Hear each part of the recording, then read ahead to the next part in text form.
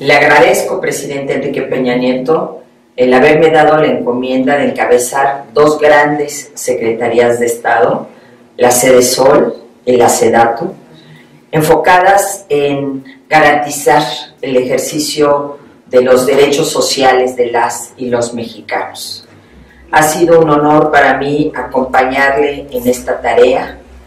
Ha sido un gran privilegio trabajar a su lado para que México sea un país próspero e incluyente, para que cada día sea mejor, para que avance. Cuenta conmigo como su amiga, que lo va a querer siempre, que lo admira, que lo respeta y que lo lleva aquí en el corazón, que lo va a llevar siempre aquí en el corazón, en un lugar muy especial. Muchas gracias, presidente, muchas gracias, Enrique Peña Nieto.